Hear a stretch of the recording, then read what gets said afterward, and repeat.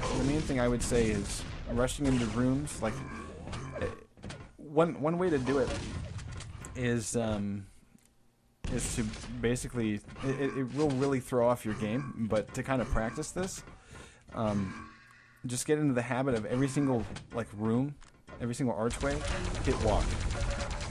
Okay, and um, when, when you start doing that, it'll just be kind of like, and you need to do it for like a split second. What that does is, um, it's just sort of like a mental reminder. Um, you, you kind of you kind of train yourself. Okay, I'm going to slow down here. I'm going to listen and figure out where my opponent is first before I go barging into the room. And uh, it, it's a really simple thing. And of course, it, you, know, you need to have your walk key, you know, bound to something useful. But um, I, I, can't imagine someone who doesn't use walk in this game, but um, it's happened before. but uh, yeah, so I mean, it's just a very subtle kind of training tool um, that that will kind of teach you to to kind of slow things down. And and another another piece of it is, you know, when you start doing that, then um, the next thing to learn, I would say, for fish sticks is run away.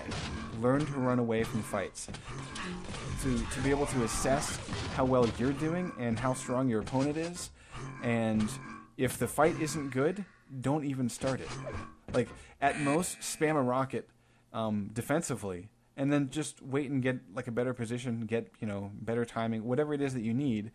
Um, until you're really ready to have fights. And it can make games kind of boring in a way um, because they might be really low scoring. So you know, it, it, these are all, all things that are that are really difficult to learn. They're just something that come over lots of games of practice. And this is going to be the tie-breaking map between Jahar and Fishsticks. Fishsticks picked up ZTN. Jahar just picked up DM6. And Fishsticks is ready yeah, to go. Jahar's movement is looking is looking a lot. Uh, it was looking a lot cleaner than than fish sticks on DM6. Prepare to like fight. he was just moving a lot smoother. All right, here we go. Three, two. Yeah, and actually, King, you're sounding kind of quiet. Are you back from your mic? Um, yeah, there we go. Pick some stuff. Good. All right, so Fishstick's getting the armor start. Jahar, of course, getting Mega. And um, so Fishstick should be thinking about the timing of that Mega respawn. And so uh, I'm curious to see if he shows up on time. Now, Jahar's done a smart thing here because he's gone and basically avoided fights, and stocked up on weapons.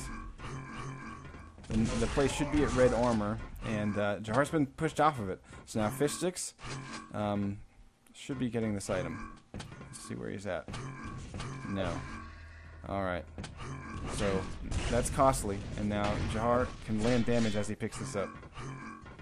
Got lucky. So both these guys not really paying attention to the items. Fishsticks is going to pick up the first kill. And uh, Jahar is chopping up apparently. Alright. Yes, good old Linux. Yeah, you can tell. Zel's FPS are dropping. Yeah.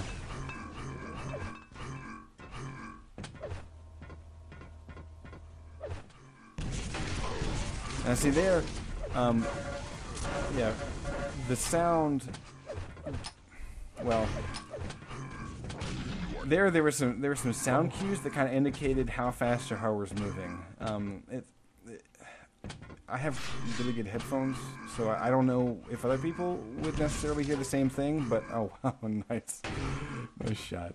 Um, but in my headphones, I I could hear the, um, sort of momentum of of those jumps. You know, like I could basically tell how quickly um, Jahar was coming in towards that red armor, and uh, so Fitz actually sh shot behind Jahar kind of into the pillar when it, it was kind of like e even if even if okay, what am I trying to say here? Um, in that situation, just shooting the item would have been better than trying to line up a square shot, because the likelihood of getting a square shot is almost nothing because of that pillar, and so by shooting the item, you run the potential of getting your opponent to back off from it or trying to, you know, dodge damage, he might hesitate for just a split second. And quite frankly, in that position, that was all that Fish Sticks needed in order to drop in on that red armor and uh, and cut Jahar off instead of the other way around. So, um, yeah, it took me forever to kind of Yeah, get that out. Like he just did. yeah, it took me forever to get that out. what but- you're explaining, Jahar's. yeah, yeah, yeah. Yeah, so thank you guys for for demonstrating it, but just backwards. All right, so let's go take a look now. Jahar's on the recovery, and Fish is uh, stacking up nicely. So on the recovery here, Fish should be thinking about what weapons Jahar has based on where he spawned. So my guess is uh, he has two weapons right now, and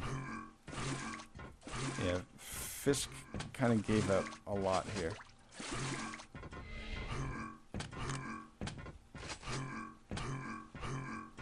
So at this point, Fish should know Jahar's got every pretty much everything, and so Fish Stick shouldn't appear on Jahar's screen for quite some time, um, unless it's going to be doing a peek rail. So let's see. Oh, great rocket, nice rail, and now Fish Sticks can't come back into this room. Um, so again, you know, this is really the time where Fish needs to learn defensive play, and a lot of it should be slowing down and listening. I'm gonna continue. I'm gonna continue to watch from Jahar's point of view because I think that's, you know, we'll be able to tell what Fish Sticks is doing based on whether or not he gets spotted. Now, jumping offensively, really the. Uh, yeah, go ahead. He's really like the juggernaut. Like he, he doesn't stop coming at you. You know. He, Yeah. he just doesn't know when to stop. Okay, now Jahar is actually in really good shape already, and Fish is, you know, basically even though he got a frag, he um, he's he's not going to be in position for for anything. Like he can't go for red because he's just in, you know, he's not even at full health. So, well, that being said, red apparently is anyone's game. So Fishik should be leaving this room and getting red right now. He's, he should be like, okay, Jahar is stuck over there. Fuck, I'll give him Mega. I'll take red because right now staying staying here too long, Fishik is gonna die. Like now he's about to lose everything. He's, he's gonna lose the frag, and now Jahar, if he hightails it, can get red, or at best Fishix will spawn and get red, but then have maybe rail, maybe plasma, and Jahar can walk into that and get the frag. Oh. Nope. Lucky spawn. Lucky uh, portal maneuver. Fistix got a nice close range buckshot. So, okay. All right. Shut my mouth. I don't mind being wrong. Makes the game a little closer. Nice move by Fish. Both those players are really worried about Mega. They're not really con- so such like their concern isn't on red or both yellows as Yeah. much as it is on Mega. Now this is big for Fish because Jahar has at best a rail. Now he's got nothing. Uh, Fish has extended his lead, and so so now honestly, okay, Fish should be, should be thinking about when he picked up red and when Mega was last grabbed, and um, essentially they're spawning at the same time. So you know, like yeah, I see. This is where I kind of disagree with what Jahar is doing at this point because um, coming into this room, he should have been looking for just just doing damage. That's it. That's all he needs to do. He doesn't need to try to get the item. Yeah. He just needs to, he just needs to think about doing damage Yeah. and getting away with his life, and then beating fish sticks to the red armor, which should happen in that situation if he's only looking to do damage. Because now he's about to give up a frag. And I see right there, fish switches a little bit late to the rail, he had the right idea. You know, a lot of these things, you know, they're they're concepts that you, you know, after practicing a little bit more, you really start to kind of string together. They become second nature. So, like here, fish should be, yeah. Like my, when fish was up and waiting to see where Jahar's going to come from with that uh, red armor play, I probably would have spammed down a few rockets and then followed my own rocket down. Um,